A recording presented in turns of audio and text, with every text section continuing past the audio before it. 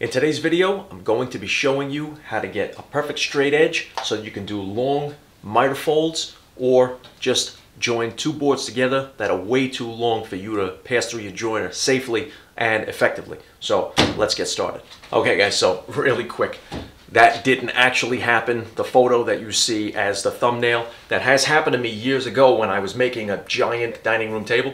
As I was passing the boards through the jointer on edge, because they were so heavy and thick, as I was getting to the, the edge of the jointer, holding it down, trying to maintain that edge, and because it was so heavy, just wanted to tip over. So as I was doing it, I had to kind of catch myself. Now I love my jointer, but I only have about, because it's a combination machine, I have about five feet of support here on the table. Now there are longer jointers out there, some are six feet, some are eight feet, and they'll give you a little more support, but you're still gonna have to set up an outfeed roller or something if you have a 12 foot board.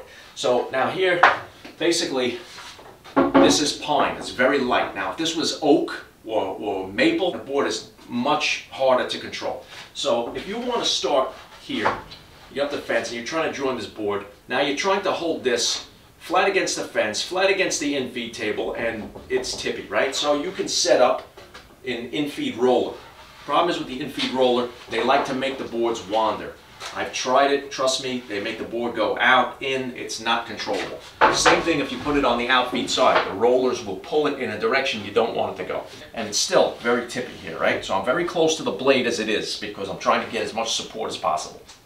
I'm passing it through. So now I'm still in the safe zone right here, okay? It's not at the point where it wants to tip yet because I'm halfway through the board. Now as I start to get three quarters of the way through, now you can see the board wants to already start to lift up. And I'm, now it's starting to get heavier. Even though it's light pine, it's starting to pull up, right? So I'm trying to hold this down, forcing it down. And you're not supposed to be forcing the wood down because all you're doing is telegraphing um, imperfections in the board right to the blade on your jointer. So you're not really effectively getting a straight edge. So as I get to the end now, I have to make sure that I maintain it and I'm, I'm putting a lot of pressure down right now on the outfeed table to hold this down. Is it? I'm off the table. If I just let it go, that's it. It's going to go right down. So if I slip at all, not only is it dangerous that the board can come up and hit me in the face, but I can fall and try to catch myself as a natural reaction and what's going to happen. Even if I have the blade guard in, which this is the blade guard here. So you have the blade guard like this. I can still get my hands underneath the blade guard and fall in. And I've seen people get their hands chopped right off on these things. There's actually a channel, I'm not sure, it's a, it's a builder, and these guys are professionals. And the guy lost all of his fingers to a jointer. And these things are dangerous. So if you have a board that's just maybe six, eight feet, even, I would go as far as to say even eight and a half feet, it's absolutely no problem. This is a this is a five and a half or a six foot board right here. You start right here, you pass it through, get it to the outfeed side, maintain, maintain. Now the weight is still not too much. Pass it through and perfect, no problem. So let's get over to the track saw and I'll show you how effective this can be and safer. All right, so before we get started with the jointing of the extremely large uh, boards, 10, 12 feet, 14 feet, things that are just too dangerous and wobbly to really do on the jointer. I need to get this out of the way. This is one of the barn beams. This one is uh, a little more than 10 feet. If you're looking here, these, what I call them squash blocks, they're really just like stabilizers or spacers, and that's gonna keep everything square. A couple of pocket screws in here. So th these are just gonna go in the center here, and that's going to maintain that five and a half inch spacing in between. So this way I can move it around and not worry about the, the miters actually being stressed. These are going to come off later on because this has to go around a steel post.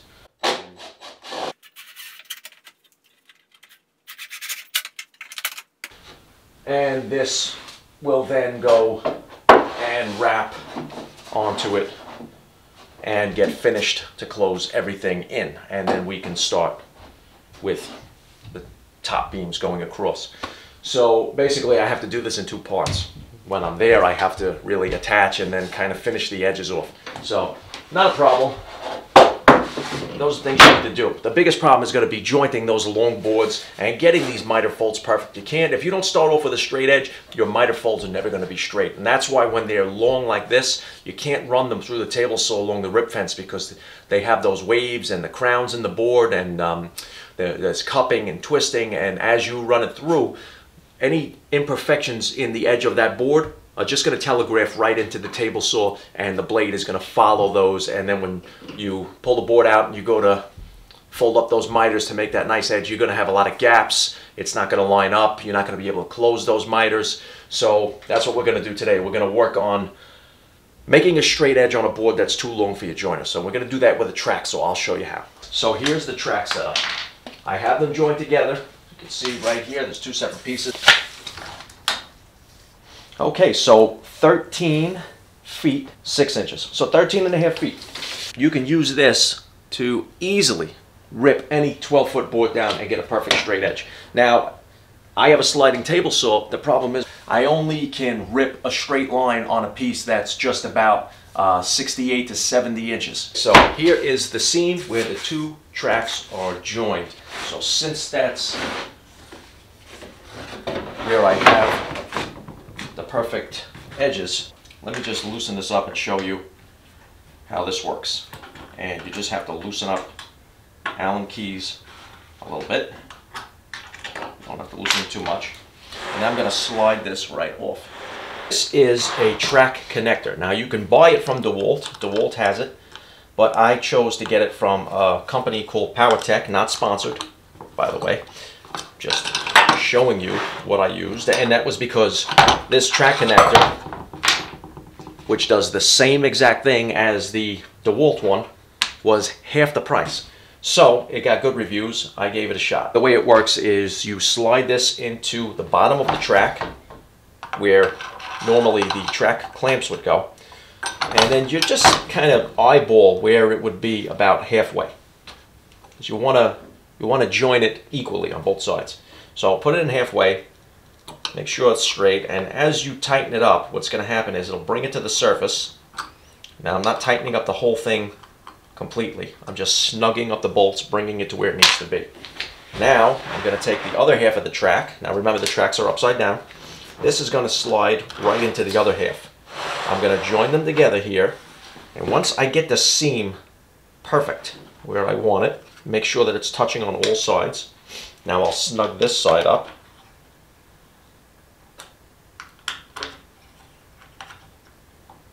I flip it over and now I have a 13 and a half foot straight edge. And so I found the perfect board for this application here and demonstration that we're going to do. So yes, I'm to try to get this as perfect as possible. I think I got the right angle right there. You see how this board kind of goes in, then comes back out at the tail over there? This side, this belly's out. The crown is up on this one. So this one is going straight and then coming out and then curving back. So the board is like a banana. It's curved inwards here and outwards on the other side. You don't want to try to get the straight edge off of the inside crown. What you want to do is get from the edge here to the edge here and then just cut that straight line and take off basically this hump in the middle. That will give you the perfect straight edge without wasting a lot of material. Once you have that crown cut off and then you can either run it through the table saw at that point or you can move the track over and you can follow your lines there. So let's take the track and you don't have to make any pencil marks at this point. Now that you've established where your crown is on the board, all you need to do is line up one edge of the track on one end and get it to the edge of the track on this end. Here is the edge of the board just sticking out right past the edge of the zero clearance so that I know that I'm going to get this point cut off. Now, as you can see, see how much it's coming out right here? We got a, about a little more than a quarter of an inch, maybe three eighths of an inch crown coming out past this straight edge. Now, as we get back, you see how it tapers back down, tapers back down. Now it's disappearing and it's completely gone and in line with the straight edge here. There's nothing. We're gonna cut that whole crown right off and that's going to establish our perfect straight edge. So let's get the track saw set up and we're gonna do that right now. All right, a couple of important things. Make sure your track is in place. Make sure that your track saw is set to 90 degrees.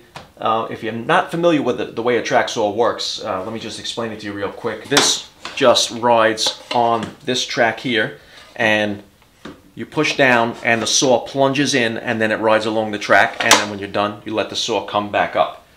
Very useful tool. Um, I've owned it for a long time. Uh, I can do a separate video on whether or not I really liked this model.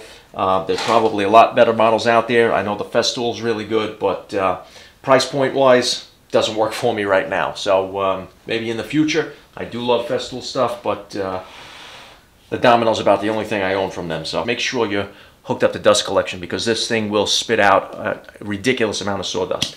Hearing protection, eye protection, and a 95 dust mask uh, for the purposes of me talking in this video right now and a really good dust collection on this. I'm not wearing a mask. It's just going to be one straight cut. Not going to be any dust at all. So I'm going to start off the workpiece. One of the things I like to do, I'm going to just drape this over my shoulder so it follows me as I go and doesn't get tangled up into the track.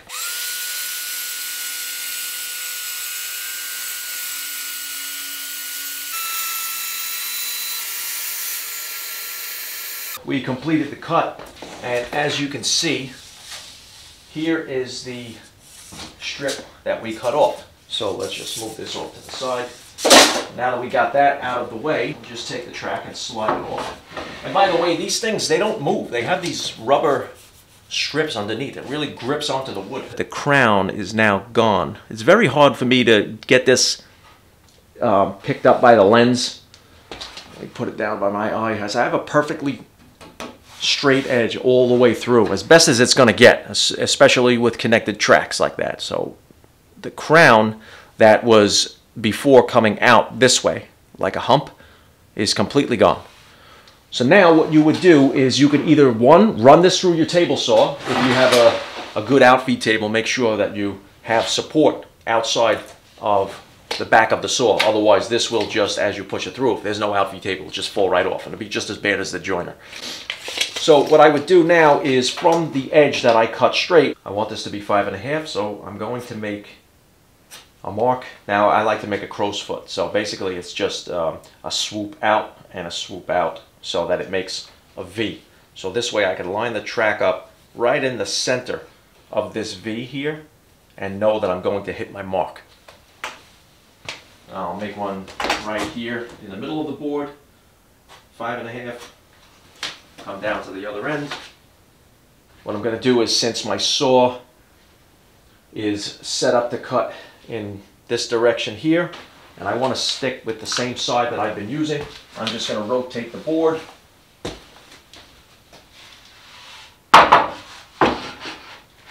Pull the track onto the board. And I'm going to line up my marks. And so I'm going to put the zero edge right in the center of that crow's foot that I made. And as I go down the board here, I'm going to push it into the crow's foot right there. And this one is just about perfect.